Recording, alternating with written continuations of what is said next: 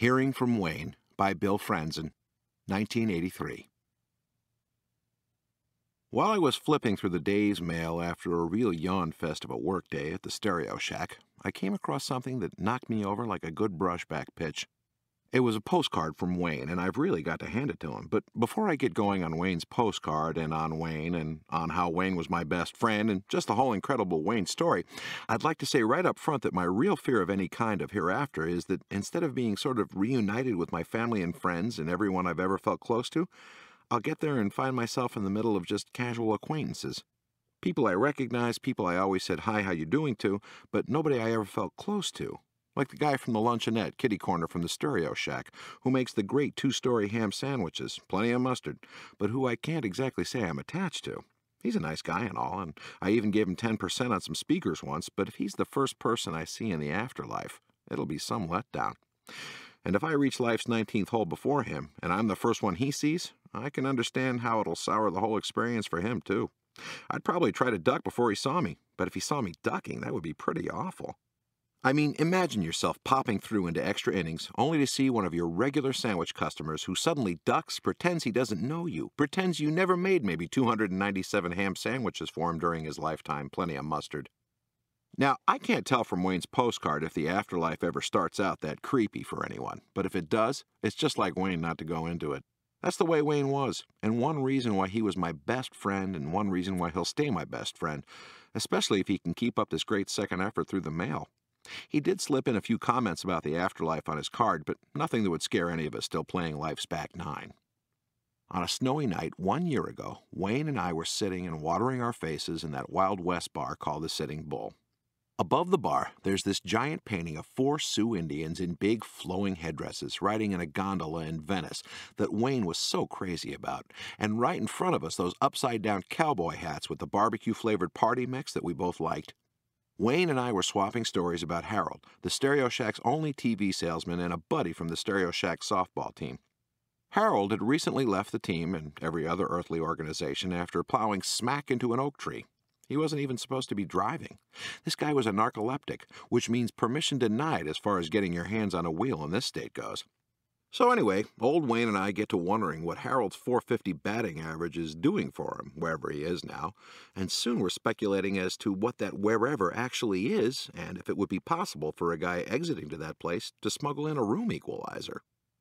I explained to Wayne my fear of seeing just people I kind of recognized there, but take it as it comes, Wayne, of course, says he's not worried and laughs through a mouthful of party mix. He says he's expecting something more like the best room they have at the Ramada Inn in Fort Lauderdale, with telepathic models bringing you and your best deceased pals frothy turquoise drinks just as soon as you've all drained your clear orange ones. Eventually, I get around to telling Wayne about Houdini and his wife. I took this book out from the bookmobile once that was all about the Houdinis conducting their own afterlife experiment. They went and promised each other that the first one of them to die would do everything possible to reach the one still alive. Well, Harry Houdini died in 1926, and according to the book, before Beatrice Houdini died in 1943, she admitted that she'd never heard from Harry and called their experiment a failure. But Wayne, who I guess was feeling his Boilermakers pretty well by then, Says he loves the idea anyway, and he gets me to say what the heck and shake hands and then sign and date a Sitting Bull Bar cocktail napkin with him to cement our own pact. And a man next to us who's been muttering something about his sister making a $1,000 a second seems glad to sign it too. Well, that was a year ago. Then, a half year later, Wayne and I are locking up the stereo shack after a real gutterball of a business day when Wayne turns to me and says, Let's call him. So we take turns calling our wives from a phone booth in the parking lot, and 20 cents later, we're loose. There's some all you can stand fish fry at the Sitting Bull, but it sounds a little too bush league to us.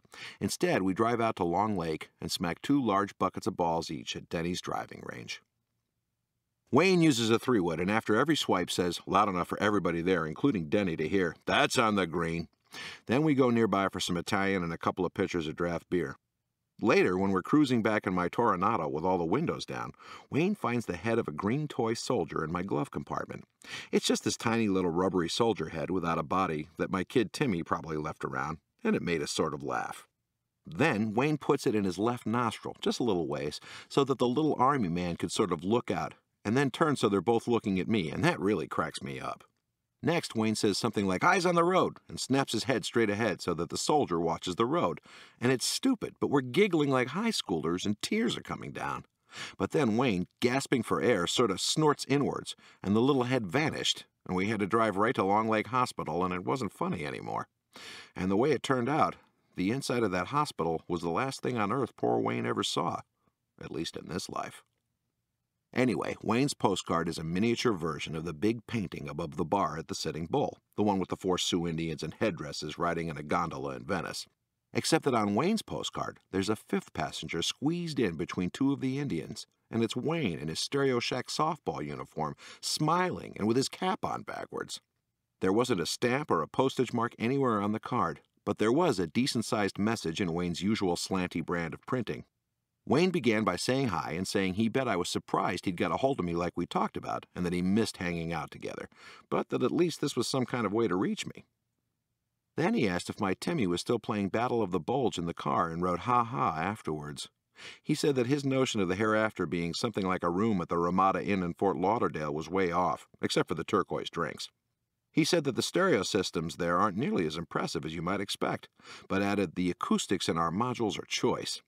He plays a lot of what he calls cluster ball there, a potent blend of golf, bowling, and softball for large numbers, in his words.